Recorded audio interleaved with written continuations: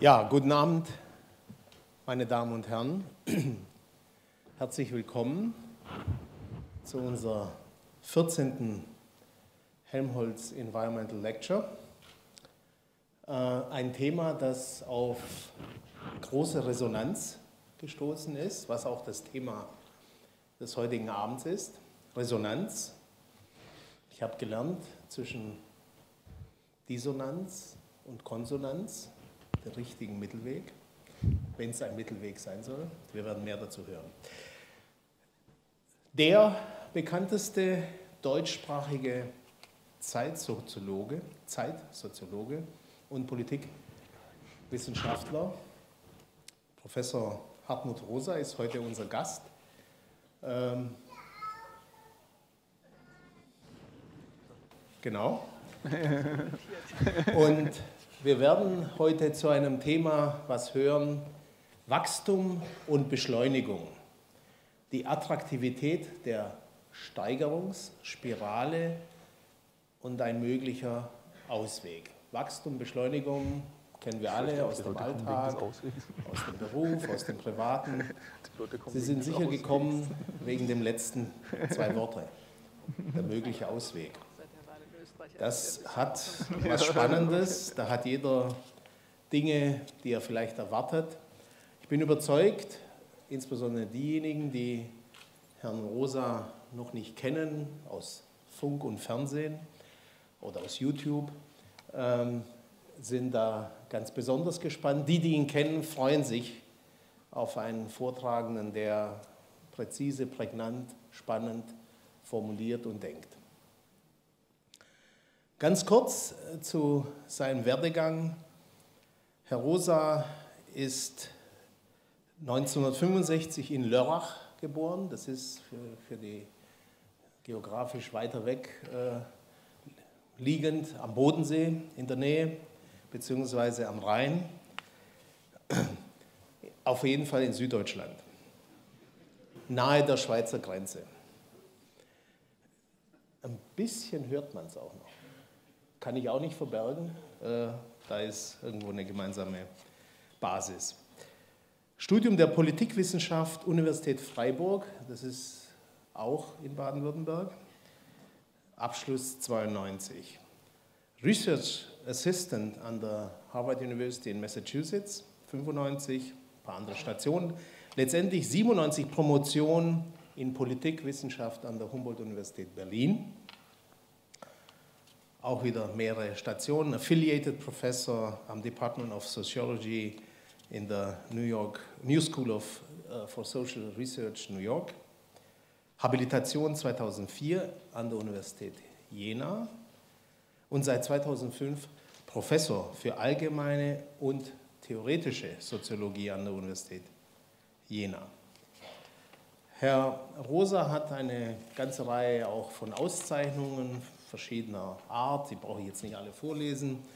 Einer der wichtigsten in 2016, Traktatuspreis für philosophische Essayistik des Philosophicum Lech und insbesondere auch für sein Werk Resonanz, Doppelpunkt, eine Soziologie der Weltbeziehung, Surkamp 2016. Er wird reden über dieses Thema, über Beschleunigung, Entfremdung, Weltbeziehungen, seine Arbeitsgebiete. Ich sage das bewusst etwas äh, auskostend, weil ich weiß, dass viele, viele von Ihnen Naturwissenschaftler sind, die vielleicht ein sagen wir, philosophisches Grundinteresse oder ein soziologisches Grundinteresse haben, aber vielleicht nicht so furchtbar viel davon verstehen. Zeitdiagnose und moderne Analyse, Zeit, Soziologie und Beschleunigungstheorie. Wir haben schon darüber diskutiert, was denkt dazu ein Physiker oder ein Mathematiker. Beschleunigungstheorie, damit können wir was anfangen, aber wahrscheinlich ist ein bisschen was anderes oder mit Sicherheit und trotzdem was zu lernen, auch für die Naturwissenschaftler.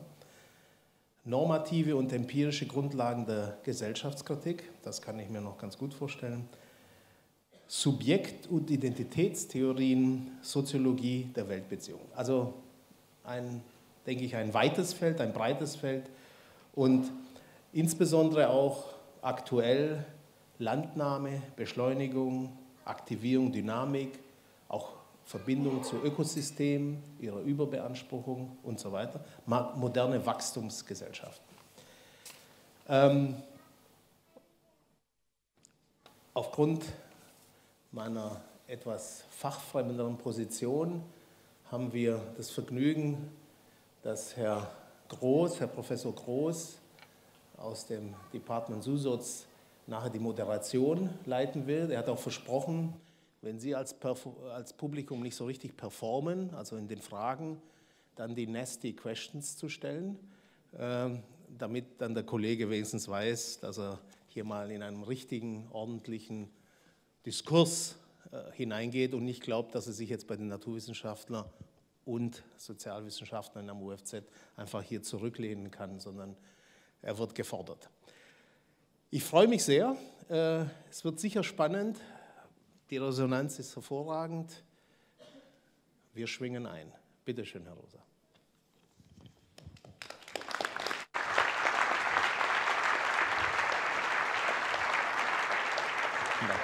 Ja, ich habe alles. Ja. Ganz herzlichen Dank, Herr Teutsch, für diese sehr freundliche Einleitung. Wir sind tatsächlich äh, als Baden-Württemberger natürlich Landsmänner wenngleich ich als Badener mit den Schwaben natürlich, ja, das tragen wir nachher aus. Ja. Nee, ganz herzlichen Dank, ich freue mich sehr, äh, hierher äh, kommen zu dürfen und äh, für diese Veranstaltung und freue mich auch in der Tat sehr auf die Diskussion danach. Ich betrachte es fast als eine äh, eben nicht nur als eine Service der Sozialwissenschaften, dass wir auch mit anderen Disziplinen reden oder ich jedenfalls das sehr gerne mache, sondern ich finde, ich finde, irgendwann will ich mal im Ruhestand oder so darüber ein Buch schreiben, dass das aus meiner Sicht geradezu die beste Form der Empirie ist. Also es geht mir nicht nur darum, das Wissen, was wir irgendwie im Elfenbeinturm der Sozialwissenschaften ähm, äh, produzieren, dann zu anderen Disziplinen oder Menschen äh, äh, zu tragen, sondern umgekehrt. Ich finde in der Auseinandersetzung damit, dass man auch in den Dialog gerät und dann eben hört, bei uns ist das Resonanzkonzept ganz anders verbucht oder auch unsere Erfahrungen sind ganz andere. Dadurch wird auch das, was wir als Sozialwissenschaftler leisten können, äh, glaube ich, erst, äh, erst gut oder hoffentlich besser. Und deshalb freue ich mich sehr über die Gelegenheit, das heute ähm, in diesem Kontext mit Ihnen diskutieren zu können. Ich habe Ihnen ein schönes Resonanzbild mitgebracht in einer alten Fabrikhalle, was äh, die Begriffe Resonanz und Entfremdung, Sie haben es schon gehört, ein bisschen äh, vielleicht versinnbildlicht, aber ich will mich damit nicht lange aufhalten. Der, der Titel ist Wachstum und Beschleunigung. Und dann die Idee oder dann die, die, die, Analyse dessen, weil meine Analyse, was ich die ganzen letzten Jahre betrieben habe, äh, darauf hinausläuft zu sagen, moderne Gesellschaften sind nicht, weil sie, immer, weil sie so gierig sind, weil wir nie genug sind, weil wir uns nie bescheiden können, auf Wachstum, Beschleunigung, Innovation geeicht, sondern aus strukturellen, insbesondere aus strukturellen Gründen. Und das möchte ich erst noch mal mit Ihnen rekonstruieren und dann auch der Frage nachzugehen, was ist denn der kulturelle Anteil davon, unsere Selbstdefinition, unser Selbstverständnis? Warum führt das zu einem Problem und wie könnte man aus diesem Problem vielleicht wieder äh, herauskommen? Ich will also in fünf Schritten vorgehen. Das erste lautet Eskalation, das Weltverhältnis der Moderne. Das ist diese Grundthese. Wir können gar nicht anders als permanent wachsen, beschleunigen, optimieren, innovieren.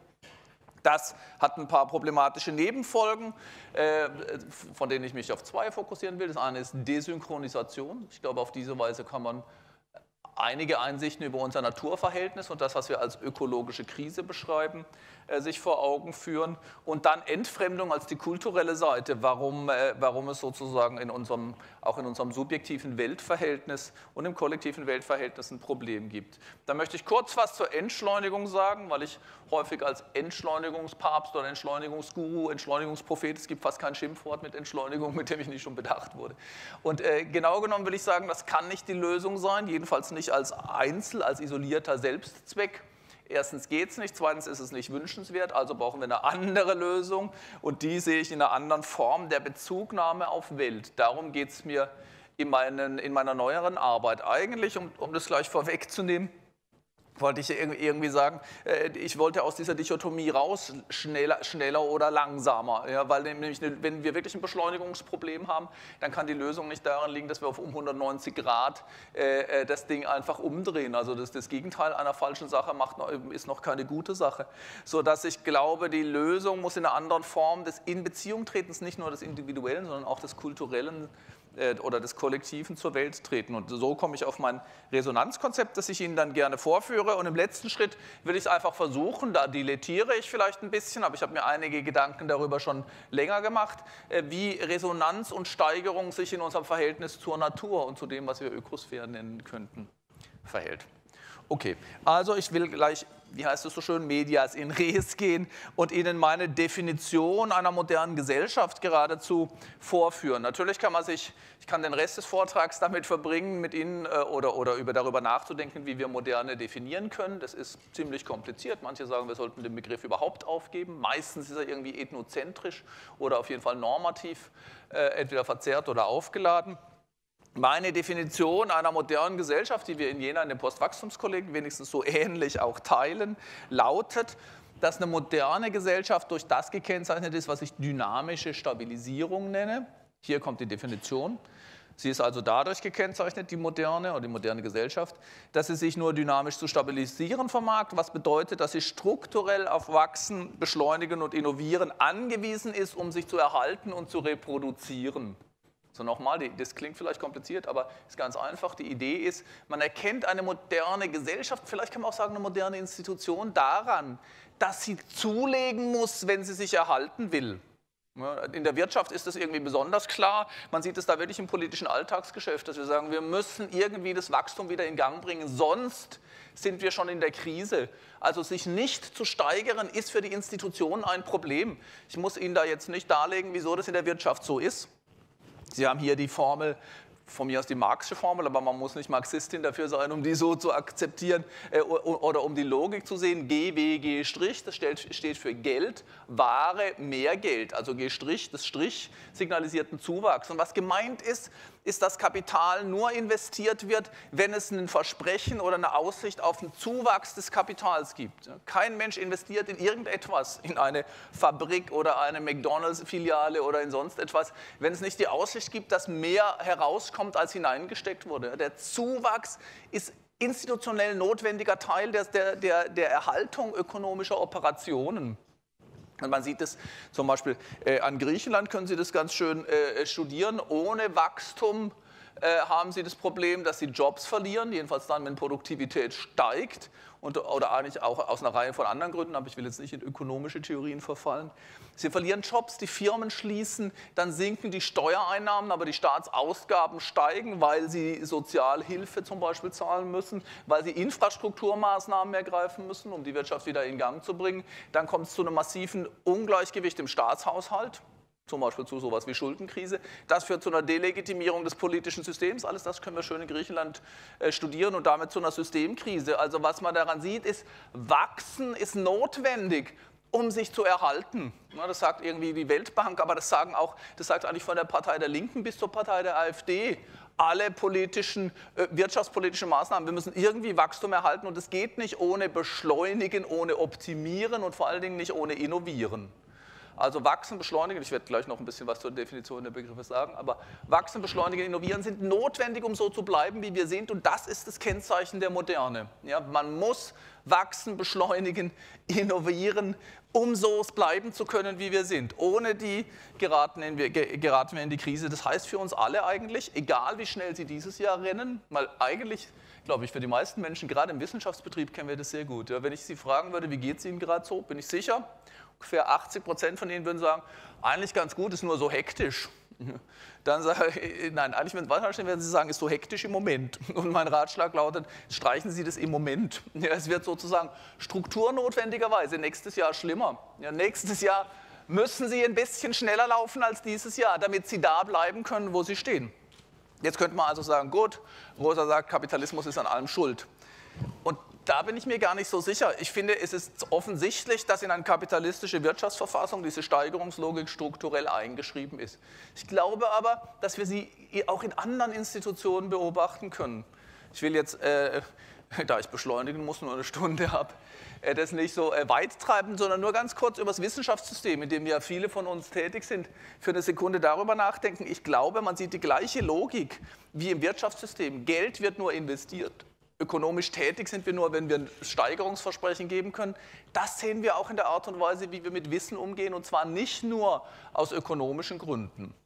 Weil für die meisten Kulturen und auch für die Hochkulturen, die wir kennen, Griechen, Babylonier, Azteken, Inkas, Inder, egal wen Sie nehmen, äh, ist in der Regel Wissen ein Schatz, der kultiviert, bewahrt, rein erhalten und weitergegeben werden muss. Ne, bei Hochkulturen treten früher oder später eine Institution der Schule in äh, Erscheinung, eine Skola oder so etwas, ja, in der dieses Wissen möglichst rein reproduziert weitergegeben wird. Fast alle Kulturen kennen dann auch Lehrer und Schüler, meistens ist es ja patriarchal, Lehrer-Schüler-Verhältnisse, in der die Lehrer das Wissen weitergeben. Und das Wissen wird in der Regel zurückgeführt auf heilige Quellen, manchmal geheime Offenbarungen oder wenigstens auf die Vorväter und Vormütter so das Wissen als Schatz weitergegeben wird. In der Moderne, im Deutschen kann man das besonders schön abbilden, wird die Bewahr oder die Beschäftigung mit Wissen, die höchste Institution des Wissens ist nicht die Schule, sondern die Wissenschaft. Und in dem Schaffen hören Sie die Steigerungsmoment. Wissenschaft ist nicht die Institution, die das Wissen bewahrt und weitergibt. Wissenschaft ist die Institution, die konstitutiv neues Wissen schafft, die neues Wissen schaffen muss. Max Weber hat das in Wissenschaft als Beruf schön dargelegt. Der Wissenschaftler, die Wissenschaftlerin wissen nicht nur, sondern sie setzen darauf, dass nach ihnen andere kommen, die über sie hinausgehen und ihr Wissen wertlos machen geradezu.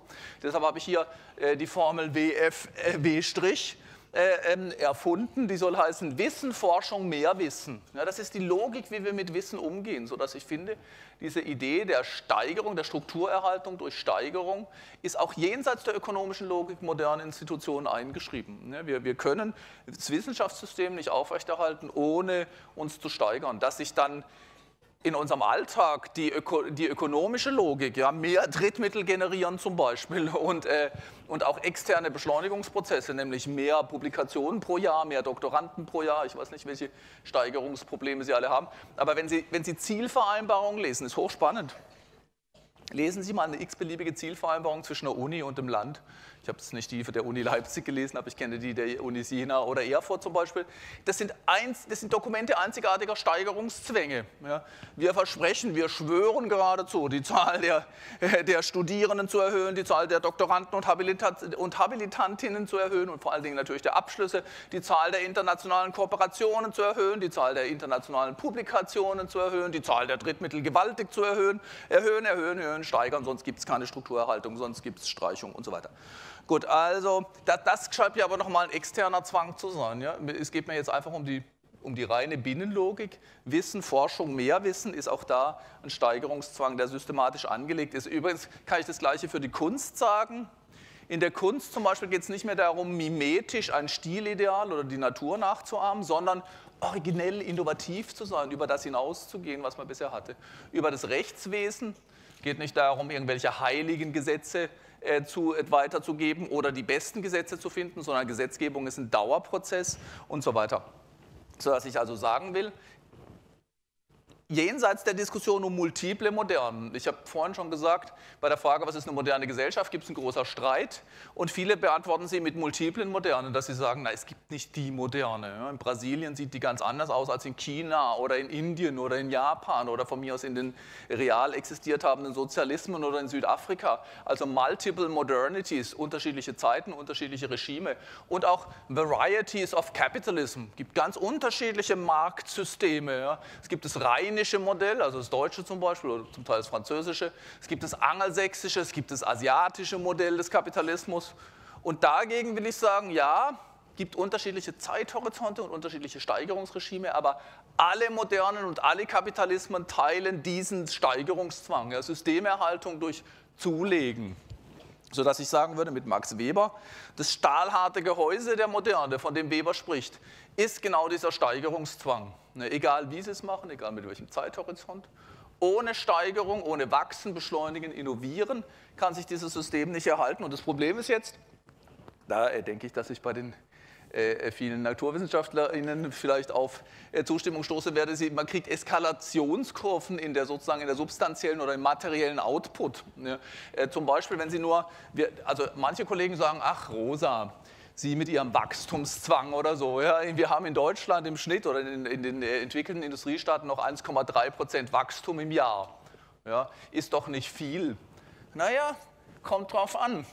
Allein seit dem Jahr 2000, wenn wir, wenn wir 1,3 Prozent Wachstum im Jahr annehmen, haben wir in 15 oder 16 Jahren schon 20 Prozent in Increase an, an, an, der Wertschöpfung bzw. am Output. Ja, 15, und 15 Jahre sind nicht so viel. Und deshalb kommt es dazu, dass selbst im, im Krisenjahr 2008 der wirtschaftliche Zuwachs, nein, Moment, doch das geringe Wachstum von damals 0,7 Prozent oder so, genauso viel Output war, wie im gesamten Kaiserreich äh, produziert wurde. Also was ich sagen will, ist, wir kriegen Eskalationskurven, nicht einfach äh, lineare äh, äh Wachstums- oder Beschleunigungsraten. Also nicht die Raten, sondern so, äh, doch die Raten, wenn Sie in die substanzielle Dimension gucken. Also das stahlharte Gehäuse ist der Zwang, wachsen zu müssen, beschleunigen zu müssen und Innovationsleistungen zu steigern. Egal wie man es macht, egal auf was die sich jeweils richten. So, jetzt habe ich aber schon gesagt, nach meiner Diagnose, nach meiner Lesart, ist an diesen Steigerungszwängen sind wir nicht einfach die Opfer, wir Menschen, die darin leben. Wir sind nicht die Opfer eines institutionellen Regimes, das erbarmungslos über uns hinweggeht, sondern es hat eine kulturelle Seite, diese Steigerungsversprechen, wachsen, beschleunigen, innovieren, ist für uns auch ein kulturelles Versprechen. Es trägt fast so etwas wie eine Verheißung.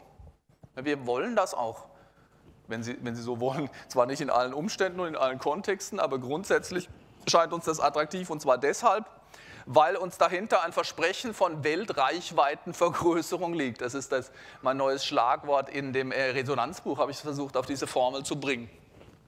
Man kann das mit Heinz von äh, Förster, das ist jetzt nicht wirklich Heinz von Förster, ist von mir, das ist eine umgeschriebene Definition als kategorischer Imperativ. Wie handeln Sie in Ihrem Leben? Nämlich so, dass ihre Weltreichweite größer wird. Was meine ich damit? Ich meine, dass wir individuell und kollektiv, aber wir machen es mal für eine Sekunde individuell, wenn Sie vor Entscheidungen stehen, in aller Regel sich so entscheiden, dass Sie mehr Welt verfügbar, erreichbar, kontrollierbar ähm, äh, kriegen, ja, dass Sie mehr Welt in Reichweite bringen. Und deshalb ist zum Beispiel Geld für uns attraktiv ist eine spannende Frage. Warum ist eigentlich Geld attraktiv für moderne Subjekte? Und offensichtlich so attraktiv, dass auch wenn Sie Ronaldo sind, Sie das Gefühl haben, die 72 Millionen im Jahr reichen nicht. Ja, ich muss da irgendwie noch was dafür so, machen oder zum Winkel oder egal wer. Äh, genau genommen hört die Attraktivität des Geldes nie auf. Auch nicht bei den Millionären und noch nicht mal bei den Milliardären. Und warum nicht? Weil Geld das Zaubermittel des Weltverfügbarmachens ist.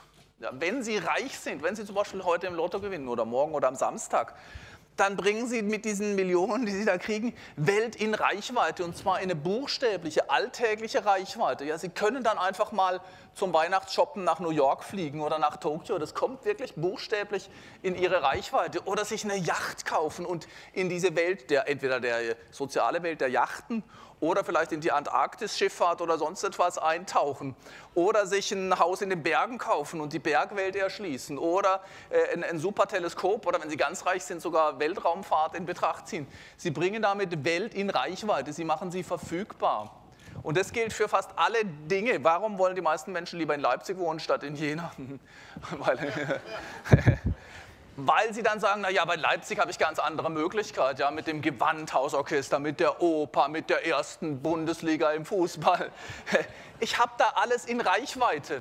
Ich kann da einfach am Wochenende hin. Natürlich habe ich auch in Jena tendenzielles Gewandhaus in Reichweite, aber das ist dann ein Act. Das ist nicht in meiner alltäglichen Reichweite, da muss ich dann schon ziemlich weit fahren.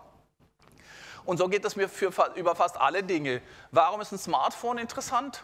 Ich meine, egal was Menschen darüber sagen und auch wenn wir noch so viel darüber schimpfen, wie doch diese neue Technik irgendwie ganz böse ist, aber mehr oder früher oder später haben wir sie alle. Und warum? Weil sie die Welt in Reichweite bringt. Ich habe alle meine Freunde in der Hosentasche. Ja, ich habe sie erreichbar und alles Weltwissen und alle Musik der Welt und alle Kunst, die irgendwie digitalisiert wurde, habe ich erreichbar zugänglich. Wir bringen Welt in Reichweite. Wir müssen sie fast in Reichweite bringen mit Technologien dieser Art, mit Transporttechnologien, mit Geld. Ich meine, Wissenschaft überhaupt. Ich meine, was macht denn Wissenschaft? Ja, die Idee ist, ich habe es beschrieben über Steigerungslogik, aber was wir machen, ist mit neuen Satelliten und Teleskopen weiter ins Weltall hinaus zu blicken mit Mikroskopen tiefer in die Materie hinein, mit anderen Geräten besser die Organe und die Prozesse, die darin ablaufen, zu verstehen. Es ist permanent der Versuch, mehr Welt in Reichweite zu bringen, in die Reichweite des Wissens, in die Reichweite der Steuerbarkeit und der Kontrolle, in die Reichweite des alltäglichen, auch kommerziellen oder konsumtorischen Verfügbarmachens. Also unser kulturelles Programm lautet, lass uns Welt verfügbar machen, in Reichweite bringen. Lass uns reich werden durch ökonomischen Erfolg. Lass sie uns technisch erreichbar machen mit Kommunikationsmitteln und Transportmitteln und so weiter. Ja. Wir versuchen sie technisch, wissenschaftlich, ökonomisch in Reichweite zu bringen und übrigens sogar sozial. Ja, auch die soziale Programm, das, was man unter Emanzipation oder Befreiung in vielerlei Hinsichten verstanden hat, ist genau das, Welt auch für die Bürger erreichbar zu machen. Die Welt der Politik wird durch demokratische Verfahren erreichbar gemacht. Ich darf jetzt mitregieren oder die ständischen äh, Schranken, dass man nur Menschen heiraten darf, die im gleichen Stand sind oder so. Alles das wird aufgehoben, mehr Welt wird erreichbar gemacht, wenigstens theoretisch. Sie können sogar die sozialen Veränderungen so beschreiben. Das große Versprechen, was die Moderne antreibt, ist das Versprechen, ist die Idee, dass Welt verfügbar, erreichbar, wissbar und gestaltbar wird. Damit habe ich schon gesagt, warum mehr haben, warum diese Steigerungslogik subjektiv attraktiv ist. Ja, mehr Geld haben, bessere Technologie haben und übrigens auch mehr Wissen haben. Ja, das gilt auch für das Wissen. Lernen Sie Englisch. Warum? Weil sie sich damit eine ganz neue Welt erschließen. Sie bringen die gesamte Welt der englischen Sprache und Kultur in ihre Reichweite, wenn sie diese Sprache erlernen. Sie können die Internetseiten äh, äh, äh, besuchen, Sie können die Fernsehprogramme sehen, Sie können, wenn Sie ins Land geht, mit den Menschen reden. Sie bringen Welt in Reichweite dadurch, dass Sie Englisch lernen. Und wenn Sie Chinesisch lernen, dann bringen Sie sich eine, erneut eine ganz neue Welt in Reichweite. Okay, also mehr haben ist subjektiv attraktiv, weil es mehr Welt in Reichweite bringt. Man sieht genau darüber, äh, wie das verknüpft ist mit dem strukturellen Steigerungsprogramm. Wir haben seit der, da sehen Sie übrigens auch, was ich mit Eskalationslogik meine. Wir haben seit 1900 die Zahl der durchschnittlichen Güter in unseren Haushalten, der Objekte in unseren Haushalten von etwa 400 auf etwa 10.000 Objekte gesteigert. Also um 1900 hat der durchschnittliche mitteleuropäische Haushalt etwa 400 Objekte beherbergt. Heute sind es etwa 10.000. Ganz abgesehen davon, dass die Umschlagsgeschwindigkeit deutlich höher geworden ist in fast allen Bereichen. Ähm, wir haben die Zahl der Kontakte gewaltig vermehrt. Kenneth Görgen, amerikanischer Sozialwissenschaftler, hat irgendwie berechnet, dass der durchschnittliche Pendler, der von Connecticut nach New York und zurückfährt, äh, auf seinem Weg zur Arbeit am Tag schon mehr Menschen begegnet, als es der mittelalterliche Mensch in seinem ganzen Leben tat. Wobei er den Menschen, die er begegnet, da, da berechnet er ein, die Leute, von denen er in der Zeitung liest, mit denen er in Facebook in Kontakt ist, von denen er im Radio hört oder die er im Fernseher sieht und so weiter. Wir haben ja auch tatsächlich von all diesen Menschen mentale Abbilder. Ja? Wenn ich irgendwie ähm, Berlusconi sage oder Trump oder Ronaldo oder so, haben wir alle eine mentale äh, äh, Abbild davon. Also wir haben die Zahl der Güter eskalatorisch angesteigen lassen, wir haben die Zahl der Kontakte eskalatorisch ansteigen lassen, wir haben die Zahl der Möglichkeiten, die wir zu jedem Zeitpunkt haben, ähnlich gewaltig eskalieren lassen. Was wir nicht eskalieren können, ist aber übrigens die Zeit. Ja, deshalb habe ich da in Klammer dahinter Zeitnot geschrieben. Zeit ist der eine Faktor in dem Spiel, den Sie nicht vermehren können. Ja, für die vielen Güter, die wir produzieren, konsumieren, zirkulieren, für die vielen Kontakte, die Sie potenziell haben, für die vielen Optionen, die sich Ihnen bieten, haben Sie dummerweise trotzdem nur 24 Stunden am Tag oder 365 Tage im Jahr, sodass Sie jetzt für jeden Einzelkontakt, für jedes Einzelgut viel weniger Zeit haben im Durchschnitt. Die durchschnittliche Zeit ist deutlich gesunken. Aber nochmal sozusagen die Vermehrung von Weltreichweite ist auch irgendwie das, was uns eine Art von Weltpotenz gibt. Denken Sie an Geld, denken Sie aber auch an Technik. Ne, Geld wie Technik zum Beispiel oder eben auch der Wohnort Leipzig gibt Ihnen eine Art von Potenz an die Hand. Welt, die Sie erreichbar haben. Ne? Möglichkeiten damit auch Kontingenzen, also Unsicherheiten in der Zukunft zu bewältigen. Gleichzeitig muss man sagen, das habe ich vorhin schon gesagt, es, es ist diese Doppelperspektive Reichweitenvergrößerung ist attraktiv. Es geht zusammen mit unserer Vorstellung von Glück und von Freiheit. Das muss man wirklich sehen. Weil ich, also ich würde falsch verstanden oder ich würde es falsch machen, wenn ich immer nur so tue, als seien wir die Opfer von äh, Beschleunigungs- und Steigerungszwängen. Es ist wirklich, es ist eine Freiheitserfahrung, wenn ich plötzlich Welt erreichbar habe. Ich mache das übrigens gerne an, äh, an der, wirklich an der, an der Transporttechnik fest. Wenn Sie ein kleines Kind sind und das erste Fahrrad kriegen, das ist eine Vergrößerung ihrer Weltreichweite. Jetzt kann ich meinen Freund vier Straßenzüge weiter weg einfach ruckzuck besuchen. Und wenn ich das erste Moped kriege, ich komme aus dem Schwarzwald, Sie haben es schon gesagt, dann kann ich bis zum Nachbardorf fahren mit meinem Moped. Das ist plötzlich in meiner Reichweite und zwar in meiner alltäglichen Reichweite. Ich kann da nach der Schule schnell hin. Und wenn ich das erste Auto habe, dann kann ich bis nach Freiburg oder Stuttgart fahren oder von hier vielleicht nach Berlin. Da kommt Berlin in eine Art von Alltagsreichweite. Und wenn das Flugzeug ins Spiel kommt, dann ist plötzlich London oder Rio oder Tokio in Reichweite, wenngleich es vielleicht noch ein bisschen teuer ist. Aber ähm, damit ist, sind Freiheits- und, und, Glücksversprechen verbunden. Aber das ist die eine Seite, zugleich ist eben auch der Steigerungszwang im Spiel. Ich habe das schon gesagt, äh, für, die, für die kollektive Seite, wenn die Wirtschaft nicht wächst, die Wissenschaft ihr Wissen nicht erweitert, dann kriegen wir strukturelle, institutionelle Krisen. Aber diese Logik übersetzt sich in das individuelle Handeln. Das ist eigentlich soziologisch auch völlig logisch, weil Wachsen, Beschleunigen und Innovieren nicht vom Himmel fallen. Es sind die Subjekte, die die Wachstums-, die Beschleunigungs-, die Steigerungsleistungen erbringen müssen. Und wie erbringen wir sie? Warum erbringen wir sie? Zum Teil, weil es attraktiv ist, zum Teil aber auch einfach durch Zwang, insbesondere durch Wettbewerbszwänge. Moderne Gesellschaften verteilen alles, was sie zu verteilen haben, in der Logik der Konkurrenz, im Modus des Wettbewerbs. Nicht nur das Geld oder das Einkommen, sondern die Privilegien und Positionen, also wer darf studieren zum Beispiel oder wer, wer darf am Helmholtz-Zentrum arbeiten, wird in dem Wettbewerbssystem entschieden, nicht irgendwie durch Geburt oder sonst wie festgelegt. Oder ähm, ähm, äh, aber auch äh, Anerkennung und Status beispielsweise und übrigens auch sowas wie Freunde und, Leben und Ehepartner oder so, wird alles im Modus der Konkurrenz vergeben. Wir konkurrieren zum Beispiel auch um soziales Kapital, Beziehungen zu haben, Freunde zu haben. Jeder weiß, dass es blöd ist, wenn alle zu einer Party eingeladen sind, bloß mal selber nicht. Für Studenten ist es durchaus äh, vielleicht noch eine heiklere Sache. Wenn man älter wird, wird man ein bisschen gelassener, dann bin ich halt heute mal nicht eingeladen. Aber aber grundsätzlich ist das gesamte Allokationsspiel auf ein Wettbewerbssystem äh, umgestellt. Und ich glaube deshalb, und deshalb, das führt dazu, mein Kollege Oliver Nachtwey, der dieses Abstiegsgesellschaftsbuch geschrieben hat, hat die, verwendet auch diese Metapher der Rolltreppe nach unten. Für moderne Subjekte, für Sie und mich, ist das Lebensgefühl eins, dass wir auf Rolltreppen nach unten stehen. Ja, das, ist das ist sozusagen die Kehrseite der dynamischen Stabilisierung. Wenn wir nicht nach oben laufen, uns steigern und anstrengen, dann werden wir ins Abseits befördert. Wir verlieren unsere Kapitalbasis. Wir sind gezwungen, jetzt weiß ich nicht mehr, wie rum ich das machen muss, so. Wir sind gezwungen, unser, unser ökonomisches Kapital permanent durch, ich meine, das ist mit allen Kapitalsorten so, Sie müssen es investieren, um es zu erhalten und zu steigern. Ne? Und deshalb ist da, überall da, wo uns das nicht gelingt, sind wir schon auf dem absteigenden Ast. Äh, Max Weber definiert die Situation des Unternehmers so, dass er sagt, wenn er nicht hinaufsteigt, dann sinkt er schon hinab.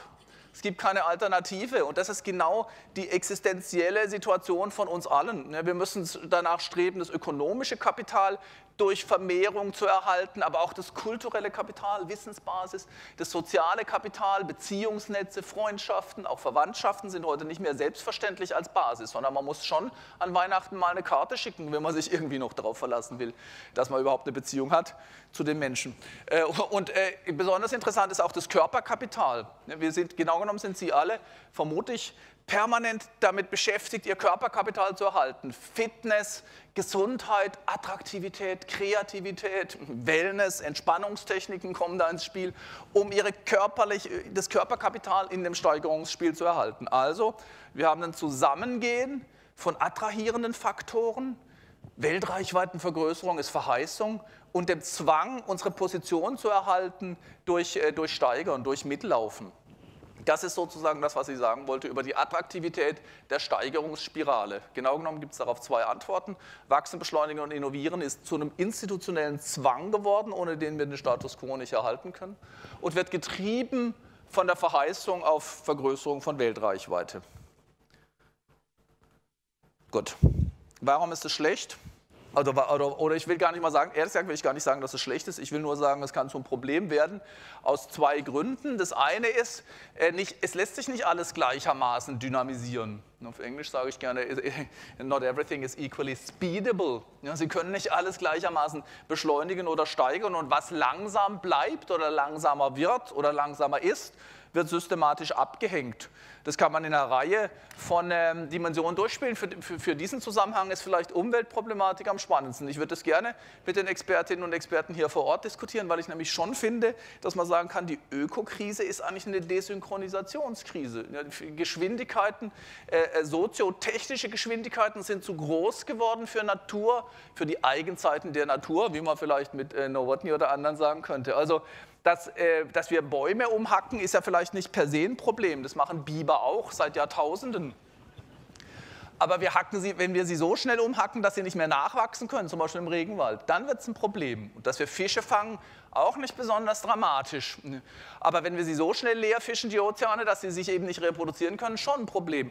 Und wahrscheinlich sind auch die Emissionen, das ist ja jetzt kein besonders originelles Argument, dass wir äh, alle möglichen Emissionen produzieren, wäre auch kein Problem, weil die Natur damit umgehen kann, auch die, die, die, die Atmosphären oder die Ökosphären. Aber wenn wir sie so schnell produzieren, dass sie eben nicht mehr gleichmäßig verarbeitet werden können, dann wird es zu einem Problem. Ich, ich finde sogar, irgendwie die Sozialwissenschaftler weigern sich systematisch, das mit mir zu diskutieren. Also habe ich vielleicht bei Ihnen meine letzte Hoffnung. Ich finde nämlich, ich finde nämlich seit Jahren, dass das, was wir als Klimawandel, also als Treibhauseffekt diskutieren, eigentlich eine Beschleunigungswirkung ist. Und es ist auch kein Zufall. Also ich meine, wenn, ich meine, wenn die, meine Diagnose der Beschleunigung lautet ja, dass wir tatsächlich die Welt materiell in Bewegung setzen. Wenn Sie an die Masse an Menschen denken, die wir in Bewegung haben. Zum Beispiel, währenddem ich hier rede, sind 1,5 Millionen Menschen über uns in der Luft, also über der Welt.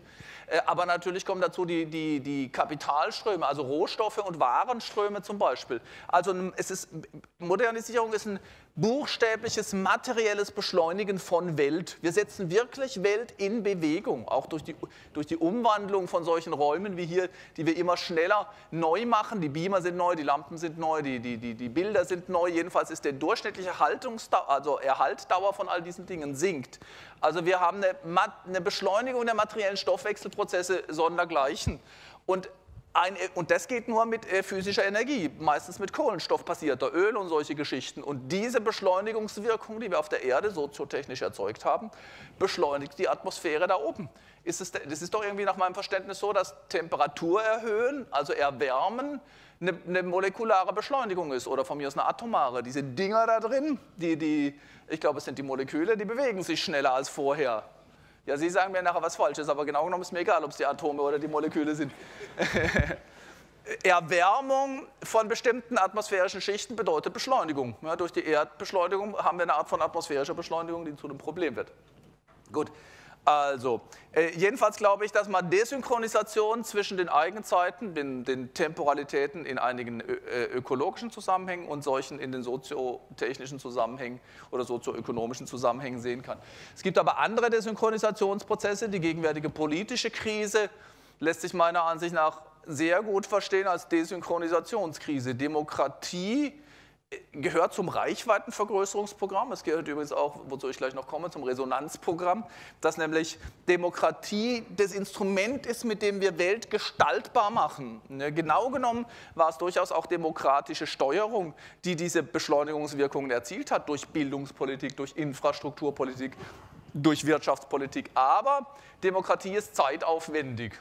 Ne, die Idee demokratischer Selbststeuerung von Gesellschaften bedeutet nicht, dass wir mal abstimmen, ob man auch gegen Flüchtlinge ist, ja, ja, auch dagegen, sondern äh, Demokratie ist die Formulierung sozusagen, das, erstmal sozusagen das Finden und Ausformulieren unterschiedlicher gesellschaftlicher Gestaltungsmöglichkeiten und Positionen und dann das Eintreten in einen Deliberationsprozess, in dem Argumente formuliert, aber auch geprüft und miteinander ausdiskutiert werden, was zur Folge hat, das ist die ganze Geschichte des republikanischen Denkens, dass man dabei seine Position verändert, weil man sowas wie lernt. Man hört Argumente, an die man vorher noch nicht gedacht hat. Man wird konfrontiert mit Positionen, die vorher noch nicht die, einigen war, die eigenen waren. Und in diesem Deliberationsprozess verändern sich Positionen und Argumente so, dass ein Konsens gefunden werden kann, ein, ein gesellschaftlicher Gestaltungsauftrag entsteht. Das bedeutet nicht, dass man die andere Seite einfach niederwählt. Ja, das ist nicht Demokratie. Aber diese Art von demokratischem Prozess, bei dem Positionen formuliert, gestaltet, in einen Deliberationsprozess überführt werden und dann in einen, eine, eine Gestaltungsoption, die, die möglichst konsenshaft ist, mündet, das ist zeitaufwendig. Und dieser Vorgang demokratischer Selbststeuerung wird zeitaufwendiger, wenn die Gesellschaft pluralistischer wird und wenn sie dynamischer wird und wenn die zu entscheidenden Gegenstände komplexer werden. Also glaube ich, wir haben es mit einer massiven Zeitkrise, mit einer Desynchronisationskrise zu tun. Das ist wenigstens die eine Seite des, der Demokratiekrise. Demokratie wird eigentlich ihrer Eigenlogik nach langsamer, aber die Märkte insbesondere, die, die äh, ökonomischen und auch die medialen Geschwindigkeiten nehmen zu, führt zu einer Desynchronisation. Ich glaube, man kann sogar die, äh, Finanzmarktkrise, an deren Nachwehen wir immer noch leiden, als Desynchronisationskrise beschreiben, weil sie nämlich die Finanzmärkte beliebig beschleunigen können. Ja, die, da werden ja teilweise, sind schon Algorith äh, Computeralgorithmen, die über die Kapitalströme und die Finanzströme entscheiden. Aber sie können die Realökonomie nicht beliebig beschleunigen. Die Produktion und auch die Konsumtion, insbesondere die Konsumtion übrigens, von Gütern ist zeitaufwendig. Ja, wenn man irgendwie ein Haus konsumieren will, muss man irgendwie da drin wohnen, selbst wenn man es nur kurz macht. Wenn man ein Buch konsumieren will, muss man es lesen. Also ich warte darauf auf den Tag, wo man das einfach in Pillenform nimmt. Ja, ich habe jetzt das Kapital eingeworfen oder die Bibel. Aber noch geht es nicht. Also die realökonomischen Prozesse sind nicht nur auf der Produktion, sondern auch auf der Konsumptionsseite äh, zeitaufwendig. Und deshalb, glaube ich, ist es zu einer Desynchronisation gekommen zwischen der, der, der Geschwindigkeit an den Finanzmärkten, in denen sie in Sekundenbruchteilen des G- erzielen, eine Rendite oder Profite oder Gewinne machen und der Realökonomie, wenn sie das äh, produzieren wollen. Und ich glaube, da sind wir wieder auf der kulturellen Seite. Dieses permanente Steigerungsprogramm äh, bringt, birgt auch die Gefahr, unsere menschliche Psyche, früher hätte man Seele gesagt, sagt heute kein Mensch mehr, jedenfalls nicht an der Uni, also die, äh, die Subjekte zu überfordern. Ja, Anna Ehrenberg hat das irgendwie in, in seinem ersten Buch äh, äh, noch geschrieben, das erschöpfte Selbst. Ja, der permanente Zwang zur Steigerung, der mit, auf der Innovationsseite mit einem permanenten Zwang zur Neuerfindung einhergeht, äh, führt zu einer psychischen Überforderung, der dann so etwas wie eine Psycho- oder eine Burnout-Krise zur Folge haben kann. Und darauf will ich jetzt noch ein bisschen, ähm, bevor ich gleich auf die Lösung komme. Ich habe noch Zeit. Ja, okay. Äh, noch mal ein bisschen eingehen. Also die, die, die Desynchronisation ist sozusagen die, die strukturelle Seite. Auf der kulturellen Seite, auf der, der Erfahrung, auf der Seite der Erfahrung der Subjekte, also von uns allen, droht nach meiner Diagnose so etwas wie Entfremdung. Und das scheint mir wirklich kulturwissenschaftlich höchst interessant zu sein, dass es da nämlich eine ganz eigenartige Dialektik gibt. Ich habe gesagt, die Moderne wird getrieben von der Idee, mehr Welt in Reichweite zu bringen, mehr Welt verstehbar, erreichbar und so weiter zu machen. Und komischerweise scheint es einherzugehen mit einem progressiven Weltverlust, so als würde die Welt zurückweichen ich habe jetzt zwar immer mehr Welt erreichbar, aber sie spricht nicht mehr zu mir. Sie verstummt geradezu. Ich meine, äh, ja, die Frage ist, wie man das genau, es gibt tausende von Beispielen, an denen man das erla äh, äh, erläutern kann. Ich will es gerne mal äh, Ihnen sozusagen kulturhistorisch an der Geschichte der Sozialphilosophie nur, nur, nur skizzenhaft deutlich machen. Ich glaube, dass man wirklich, wenn man sich die Philosophiegeschichte der Moderne anguckt, da stellt man den, aus den unterschiedlichsten Richtungen fest, es gibt eine Grundangst dieser Gesellschaft und das ist die Angst, dass uns die Welt stumm wird, dass sie uns stahlhart gegenübersteht, dass sie nicht mehr zu uns spricht, dass die Art unserer Verbindung zu ihr oder eben der Weltbeziehung problematisch wird. Ich glaube, ein wesentlicher Grund, warum Karl Marx zunächst so, so attraktiv war, hängt durchaus mit seinem Konzept der Entfremdung zusammen, später in der Fetischkritik erneuert, dass er nämlich sagt, in dieser Art des Produzierens tritt eine fünffache Entfremdung ein. Wir entfremden uns, das ist in Marxens Analyse geht es über die Arbeit, das Produkt der Arbeit gehört uns nicht mehr, wir haben keine Kontrolle über den Arbeitsprozess. Und er wollte sagen, oder er sagt, besonders der frühe Marx sagt es, in der Arbeit begegnet der Mensch sich selber, er arbeitet an sich selber, weil er an der Welt arbeitet. Das ist ein elementarer Vorgang für unser Selbst- und Weltverhältnis, das Abarbeiten an einem Gegenstand, auch das sich abmühen. Und wenn dieser Prozess sozusagen kommodifiziert wird, ich würde sagen, einer permanenten Optionslogik äh, unterworfen wird. Dann äh, tritt da eine Art von Fremdwerden in den, in den Gestaltungsprozess. Also bei Marx ist es die Entfremdung vom Produkt, vom Prozess und dadurch dann die Entfremdung von den anderen Menschen, die entweder Konkurrenten oder Klienten werden. In beiden Fällen stehen sie mir stumm gegenüber. Wenn ich mit ihnen konkurriere, muss ich sie sozusagen ausstechen. Wenn sie meine Klienten sind, werden sie zum Mittel meiner Selbsterhaltung. Und das führt äh, am Ende zu einer Selbstentfremdung und auch zu einer Naturentfremdung. Die ganze kritische Theorie ist von dieser Idee geradezu besessen. Bei Adorno, er nennt es, Adorno und Horkheimer in der Dialektik der Aufklärung, das Argument ist sehr ähnlich gebaut wie meines, dass sie sagen, die Kontrolle der Natur, das entspricht meiner Weltreichweitenvergrößerung, ist bei Adorno und Horkheimer das Vordringen der instrumentellen Vernunft, das aber am Schluss zu einer Art von Selbstverdinglichung und Selbstentfremdung führt, ne, zu einer Art Unterjochung äh, von sich selbst. Bei Marcuse nennt es das prometheische Weltverhältnis. Auch das, das was Marcuse da meint, ist eigentlich Weltreichweitenvergrößerung. Ja, wie, wie Prometheus Weltgestalten erreichbar machen, beherrschbar machen. Und er sagt, was wir dabei verlieren, eigentlich sagt er, da, dabei geht unsere, die Existenzweise wird problematisch. Er stellt dem gegenüber sowas wie ein erotisches Weltverhältnis und meint aber nicht ein sexualisiertes, sondern eine andere Weise, das in, auf Welt bezogen zu sein. Sie finden das auch bei Fromm und bei tausend anderen. Und dann von Lukács bis Hornet haben Sie sowas wie eine Verdinglichungskritik, dass wir uns uns selbst übrigens, auch uns gegenseitig und die Natur auf eine bestimmte Weise verdinglichen, nämlich nur noch zu einem, Objekt, zu einem kalten oder toten Objekt der, der, der Vergrößerung äh, werden lassen. Adorno und Horkheimer hatte ich schon, äh, und, bei Habermas gibt es die Kolonialisierung der Lebenswelt. Mir ist es noch wichtig zu sagen, dass es nicht nur in der kritischen Theorie so ist. Nehmen Sie Max Webers moderne Diagnose. Er, er, er beschreibt Modernisierung als einen Rationalisierungsprozess, sagt aber, der hat eine Kehrseite, die nennt er Entzauberung. Entzauberung ist auf Englisch Disenchantment und auf Französisch Desenchantement. Und da hören Sie sozusagen wörtlich das, was ich mit Verstummen von Welt meine. Ja, die Welt hört auf zu singen. Disenchanted. Chant ist, äh, das, the chant ist sozusagen das, das Singen. Und die Welt wird disenchanted. Sie hört auf zu singen. Sie steht uns als was, was Stummes oder Kaltes oder Totes gegenüber. Und Camus hat diese Idee, dass das Absurde im Existenzialismus, das entsteht in dem Moment und aus der Erfahrung, dass uns die Welt als etwas Feindliches oder Schweigendes gegenübersteht. Was ich also damit nur beweisen will oder, oder was ich zeigen will, ist, dass es da eine seltsame Kehrseite zu geben scheint. Weltreichweitenvergrößerung, mehr Welt unter Kontrolle bringen, in Reichweite zu bringen, scheint irgendwie einherzugehen mit einer bestimmten Art von Weltverlust.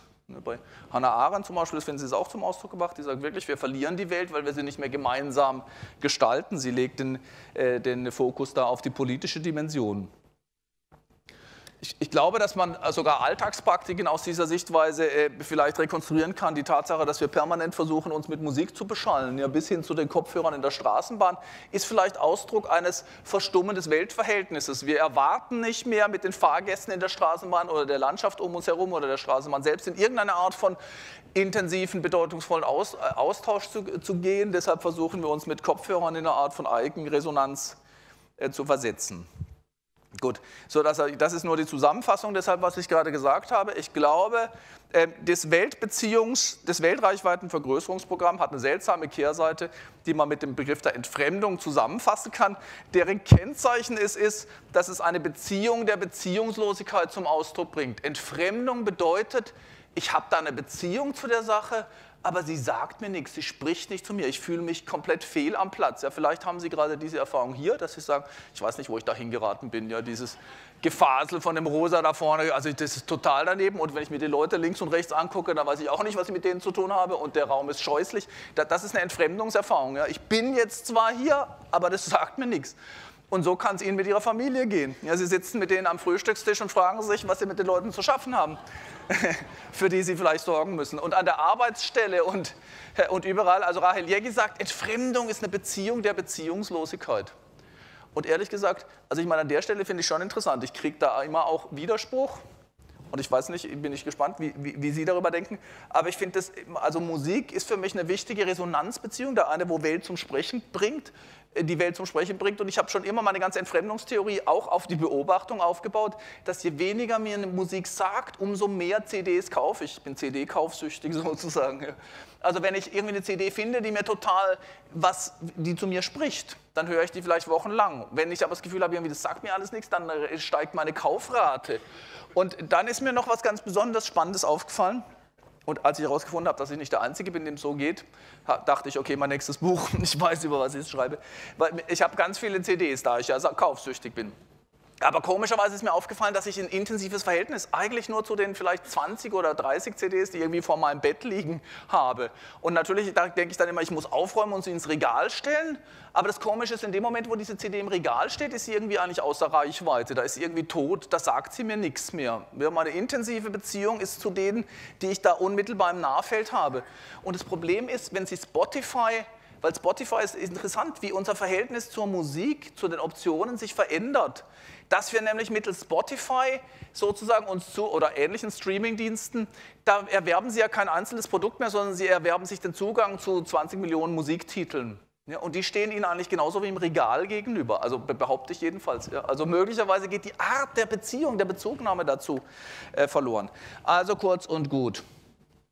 Entfremdung ist ein Zustand, eine Beziehung der Beziehungslosigkeit. Ich habe zwar die 20 Millionen Musiktitel, aber sie stehen mir alle gleichgültig gegenüber möglicherweise oder eben eine, Arbeitsstelle oder eine Familienstelle. Was da nicht gelingt, ist die Anverwandlung, dass ich einen Titel davon oder eine Aufgabe an meinem Arbeitsplatz oder eben bestimmte Menschen in, ein, in, einen, in, einen, in eine Beziehung zu mir setze, die eine sprechende Beziehung ist. Wie die gleich aussieht, sage ich in einer Sekunde. Ich will nur noch darauf hinweisen, dass meiner Ansicht nach das, was wir heute als Depression oder Burnout diagnostizieren, und das habe ich sehr oft mit äh, Psychologen, auch Psychiatern und Medizinern diskutiert, die an dem Punkt, äh, eigentlich an den meisten Punkten, aber auch an dem Punkt zustimmen würden, dass ein Burnout ist der Zustand des Verlusts aller Resonanzachsen. Das ist genau das Gefühl, wo sie, wo sie, wo sie das Gefühl haben, oder der Zustand, in dem sie das Gefühl haben, die Welt da draußen steht mir entweder gleichgültig oder feindlich gegenüber, ja, schweigend. Da draußen ist alles stumm, kalt, leer, kahl und komischerweise nehmen sie sich auch selber so wahr. In mir ist alles stumm, kalt, bleich, leer.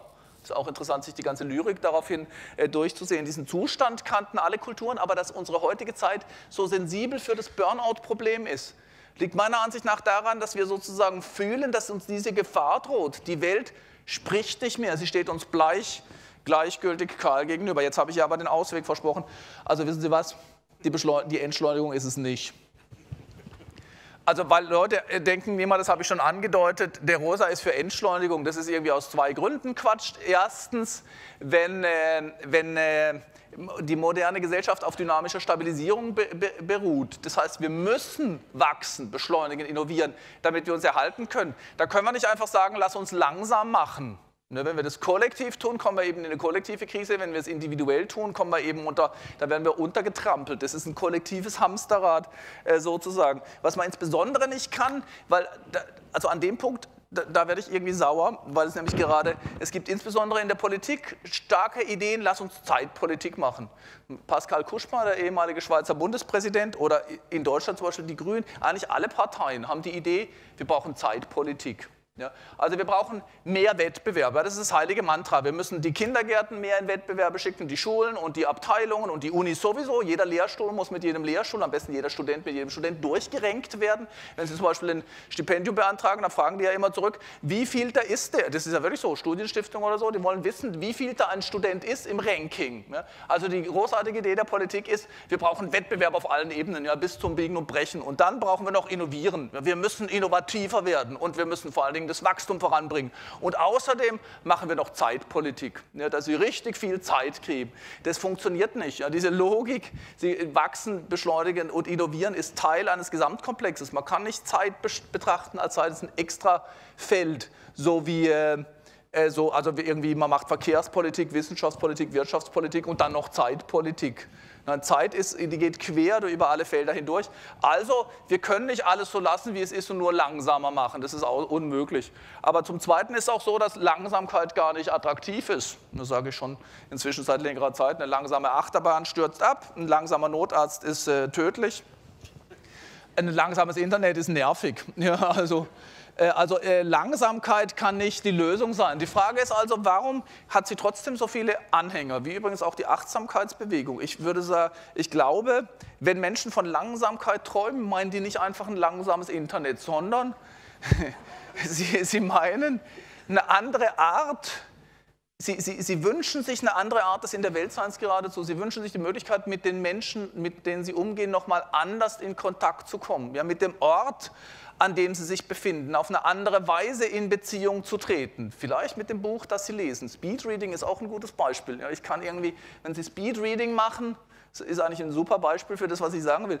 Bei Speedreading können Sie ganz schnell mit Querlesen, gibt es angeblich ganz tolle Techniken, ganz schnell die notigen Informationen aufnehmen. Ja, Sie wissen dann, was da drin steht, aber in Ihnen bewegt sich gar nichts. Ja, da hat überhaupt keine Anverwandlung stattgefunden. Richtiges Lesen ist eines, in dem Sie merken, wie Sie auf die Argumente reagieren, wie Sie sich dem Gesagten öffnen, wie Sie jetzt sich anverwandeln und dabei eine andere werden, als Sie es vorher waren oder ein anderer.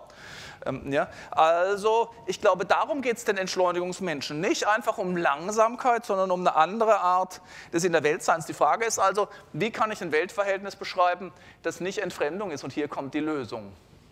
Ah nee, es gibt noch einen kleinen Zwischenschritt. Also, aber wir sind auf dem richtigen Weg. Also nochmal, wenn alles stimmt, was ich bisher gesagt habe, ja, ist diese Beschleunigungslogik, diese Steigerungslogik, diese Wachstumslogik ein strukturelles Problem, zum Beispiel ökologisches, ein demokratisches, auch ein ökonomisches übrigens, und ein kulturelles. Ja, Welt verstummt uns, statt dass sie spricht.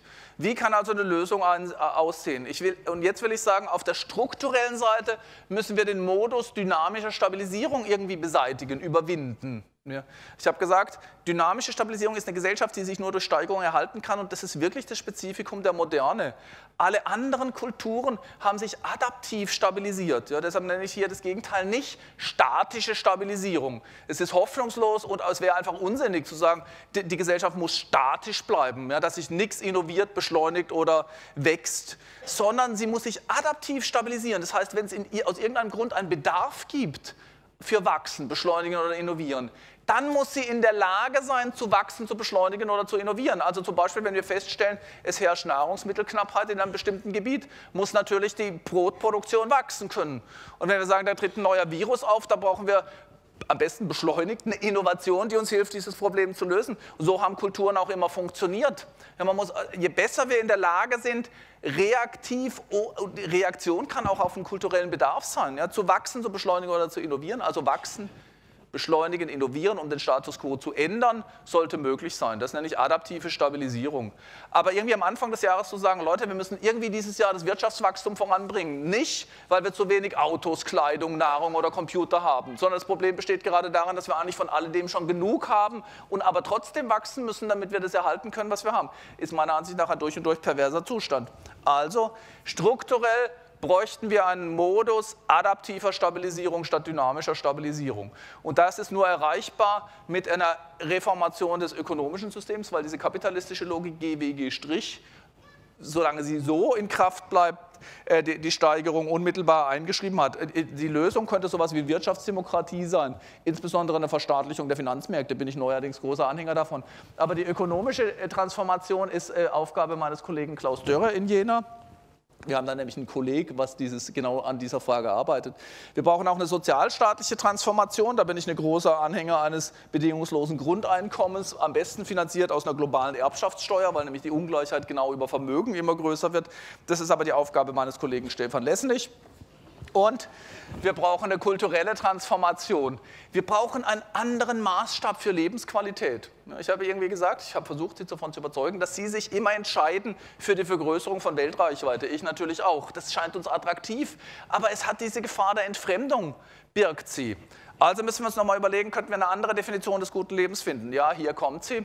Also meine Idee ist, wir sollten auf eine andere Weise mit Welt in Beziehung treten. Es sollte nicht darum gehen, weder individuell noch kulturell Reichweite zu vergrößern, sondern Glück erfahren Sie, gelingendes Leben erfahren Sie dann, wenn Sie Resonanzerfahrungen machen bzw. in Resonanzbeziehungen stehen. Was heißt das? Ich meine, wir haben vorhin die Musik genommen, ja? wenn Sie immer mehr Titel unter Ihre Kontrolle bringen, das ist vorübergehend auch ein Glücksgefühl. Ja? Ah, jetzt habe ich Spotify. Aber eigentlich besteht das Glück darin, dass es ein Versprechen auf was ist ein Versprechen darauf, dass sie mittels der neuen Technologie die Musik finden, die sie wirklich berührt und bewegt. Ich finde, sogar hinter dem Steigerungsprogramm steht noch die Hoffnung darauf, den Weltausschnitt zu finden. Die Menschen, die Landschaft, die Ideen, die Musik, was immer es sein mag, was, was sie wirklich etwas angeht, was sie anspricht, was sie berührt. Weil wenn man nämlich fragt, was war in ihrem Leben die wichtig oder was waren in ihrem Leben die wichtigsten Ereignisse oder auch im letzten Jahr. Wo war das Leben so, dass, es gelingen, dass, es, dass Sie das Gefühl hatten, dass es gelingendes Leben? Dann werden Sie in aller Regel nicht mit Programmen der Reichweitenvergrößerung antworten, sondern Sie werden eine Geschichte erzählen, an deren Ende Sie dann sagen, und das hat mich wirklich berührt, das hat mich wirklich bewegt. Und häufig ist, hat diese Geschichte das Element, und da hatte ich Tränen in den Augen. Ne? Und was kann das sein? eine Begegnung mit anderen Menschen, ein Buch, das Sie vielleicht gelesen haben, eine Musik, die Sie gehört haben, eine Landschaft, die Sie besucht haben, eine Seinsweise, die Sie erfahren haben. Aber es geht immer darum, dass etwas Ihre Existenz geradezu verflüssigt hat, sie, sie erreicht hat, sie als Person angegangen ist.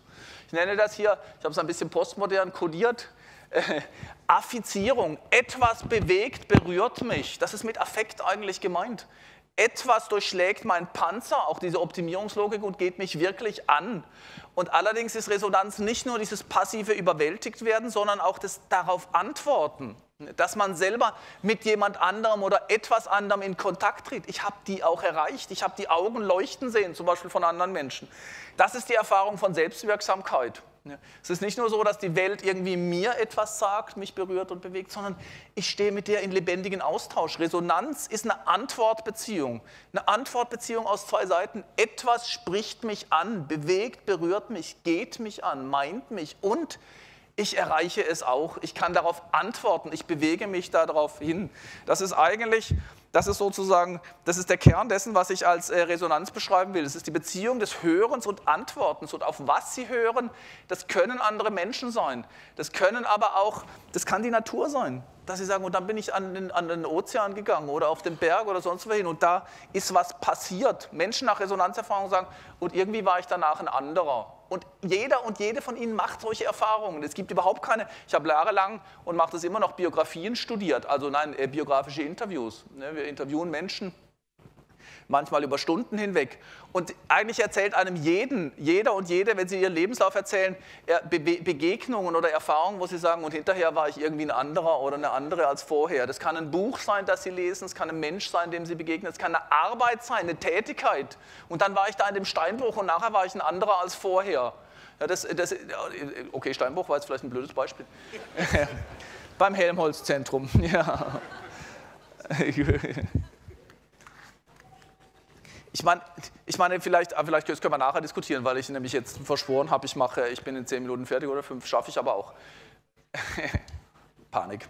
Ähm, also eine Resonanzbeziehung, na gut, dann sage ich es jetzt doch. Also mein Lieblings ist eigentlich, ein, eine Resonanz ist erstmal ein akustischer Begriff, ein Begriff aus der Physik.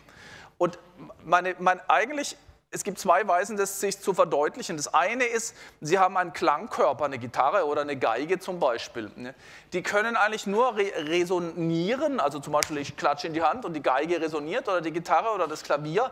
Das hat zwei Voraussetzungen. Erstens, der Körper muss hinreichend geschlossen sein, damit überhaupt ein Resonanzkörper ist. Wenn Sie die Gitarre porös bauen, aus einem ganz porösen Material, Styropor oder so, dann resoniert da nichts, weil das keine eigene Stimme hat, keine eigene Frequenz. Der Klangkörper muss geschlossen sein, aber er muss hinreichend offen sein, um sich berühren und bewegen zu lassen. Und deshalb glaube ich, Resonanzbeziehungen haben genau diese beiden Erfordernisse. Ja, da, ich muss eine eigene Stimme entwickeln und hörbar machen können, als Subjekt zum Beispiel. Ich muss aber auch in der Lage sein, da draußen etwas zu hören, was dem ich Bedeutung gebe. Das ist hier mit starken Wertungen gemeint, von dem ich glaube, das sagt mir etwas, das ist für mich wichtig. Aber um die, also die meisten Menschen finden Resonanz erstmal eine ganz tolle Idee, bis man versucht, sie auszubuchstabieren. Ja, dann sagen sie, ja, ist halt nur eine Metapher. Und eigentlich will ich sagen, nee, es ist nicht nur eine Metapher, es ist eine, eine Beziehungsform. Und als Beispiel für diese Beziehungsform, ich habe das manchmal mitgenommen, aber hier wollte ich das jetzt irgendwie nicht tun, äh, wenn Sie zwei Metronome nehmen und die jeweils mit leicht unterschiedlicher Frequenz laufen lassen, das eine auf 190, das andere auf 182 zum Beispiel Schlägen pro Minute, können Sie auch andere Schläge nehmen, aber nicht zu weit auseinander. Und die stellen Sie auf eine harte Oberfläche, eine Marmoroberfläche und lenken es gegeneinander aus, dann tackern die halt nebeneinander her. Das Schnellere holt irgendwann das Langsame ein, dann sind Sie kurz im Gleichklang. Dann überholt es schnell das Langsamer, sind sie wieder auseinander. Wenn Sie die aber auf, eine, eine, auf einen Resonanzboden stellen, dann können Sie einfach aus zwei Cola-Dosen bauen und ein, und ein dünnes äh, Brettchen. Ich habe so ein, so ein Plastiktablettchen. Wenn Sie die da drauf stellen, dann passiert was ganz Eigenartiges. Zuerst habe ich gedacht, da ist Esoterik im Spiel. also innerhalb von wenigen Minuten, von zwei Minuten oder so, sind die im kompletten Gleichklang.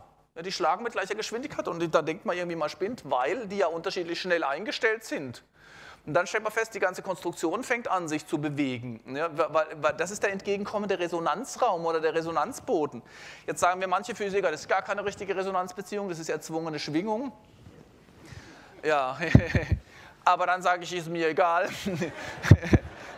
weil ich trotzdem daran er, erläutern kann, was ich meine. Weil diese beiden, diese beiden, also wir haben Metronom A und Metronom B und was passiert ist, Metronom A erreicht Metronom B ja, es, hat wirkt, es hat einen Einfluss darauf. Das ist aber nicht eine linear, eine kausal-lineare Verbindung im Sinne von, wenn ich das eine schneller mache, wird das andere eben auch schneller. Ja, die, sind nur, die sind nur über einen Resonanzraum verbunden, aber die Schwingung oder die eigene Frequenz erreicht das andere. Gleichzeitig wird aber Metronom A auch von dem Metronom B erreicht. Also wenn es zwei Menschen wären, ich, in dem, was ich sage, ich erreiche sie, aber ich werde auch von ihrer Antwort erreicht, sodass sich beide verändern in ein gemeinsames Hin.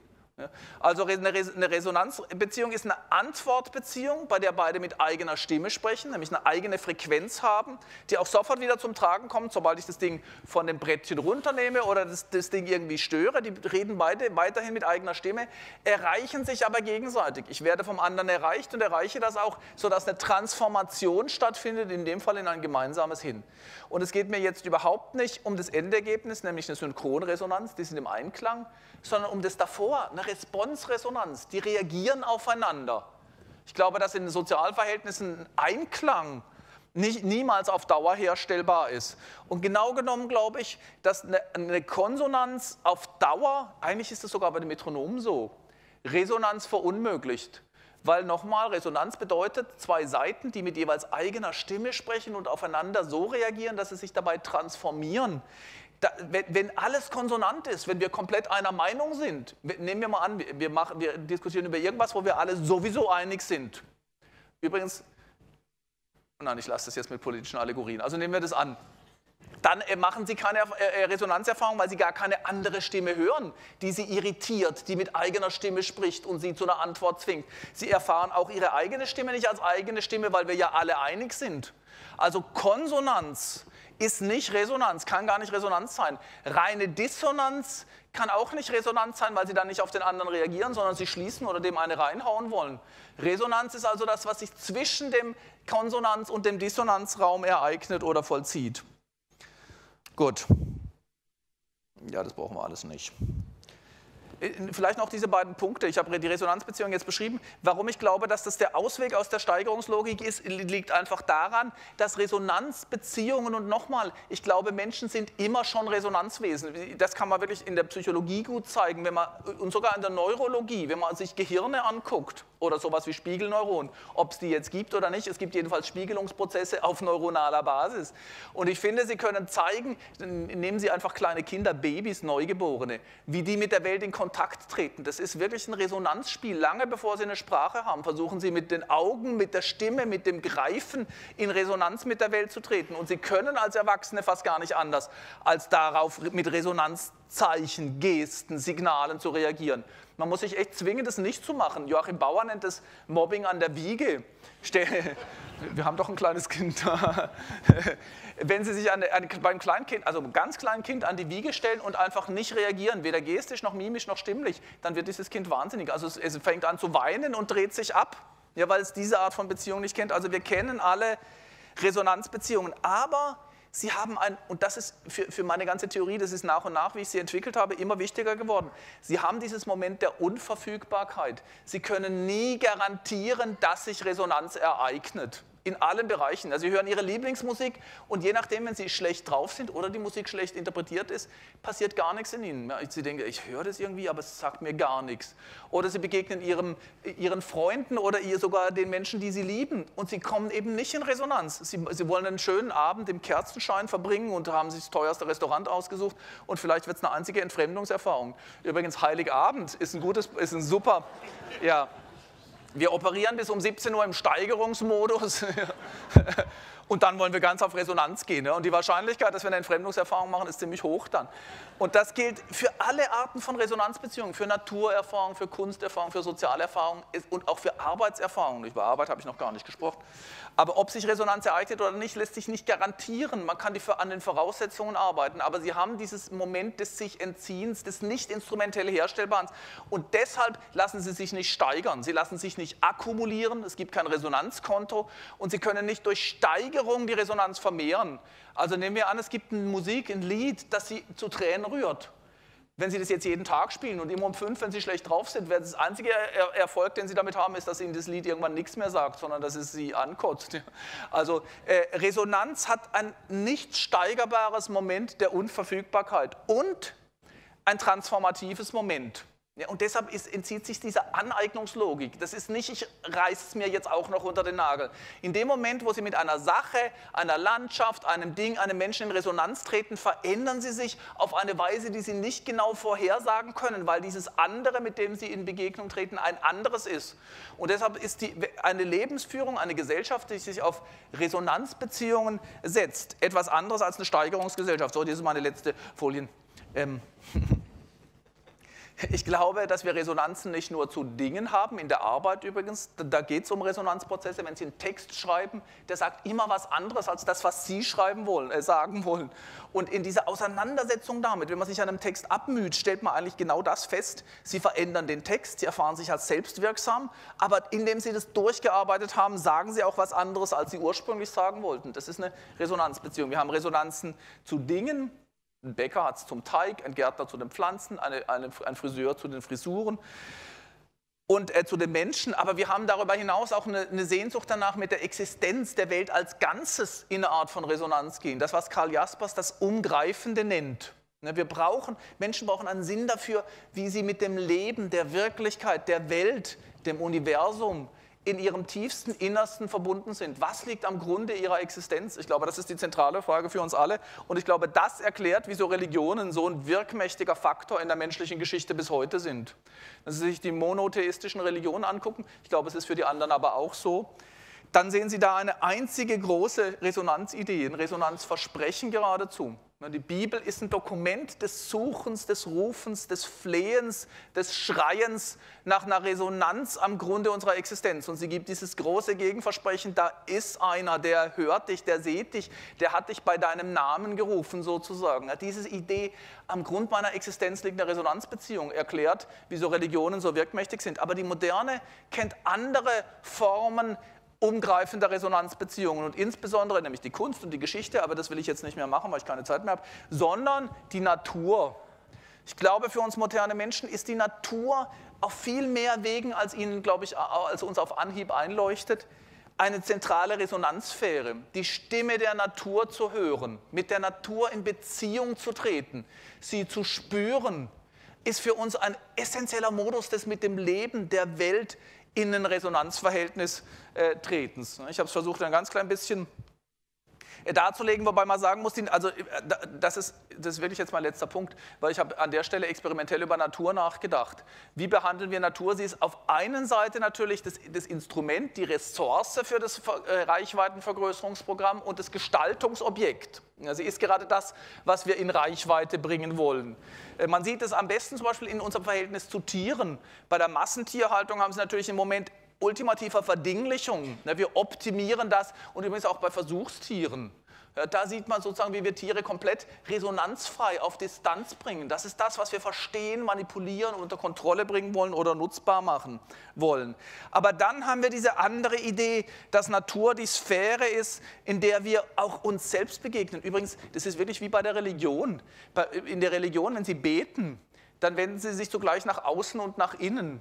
Das ist wirklich interessant. Sie können gar nicht sagen, ob der Beta jetzt nach außen oder nach innen gerichtet ist. So bin ich auf die Idee mit der Achse gekommen. Man, man stiftet eine Verbindung zwischen mir innen und, der, und, und, und Gott in dem Fall oder wer immer das sein mag da draußen und fühlt eine Resonanz. Da ist etwas, was mir antwortet, aber ich fühle auch meine eigene Stimme dabei.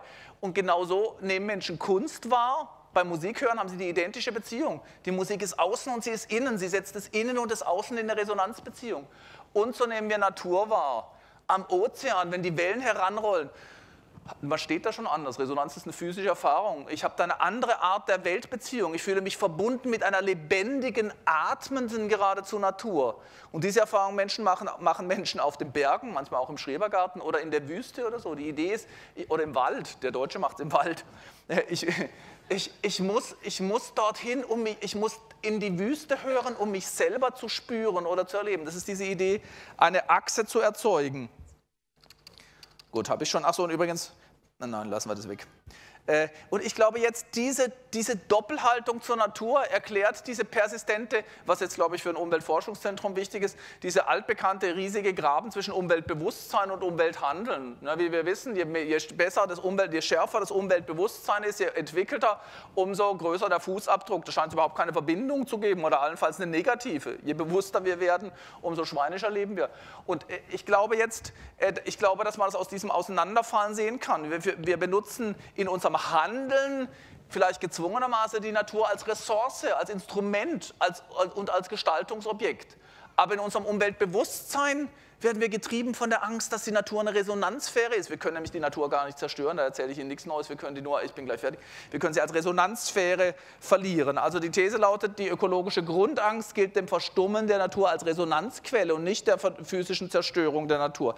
Und besonders interessant finde ich, ich meine, an der Stelle kriege ich tendenziell immer Ärger mit meinen, äh, mit meinen Kollegen, aber ich finde schon interessant, dass heute, es gibt keinen Taifun mehr, keine Lawine, keinen Wirbelsturm, kein nichts, wo Menschen nicht richtig sauer werden, wenn du bestreitest, dass das menschliche Ursachen hat. Ja, oder, weil ich glaube, es gibt dieses große Verlangen, dass die Natur uns jetzt endlich antwortet. Ja.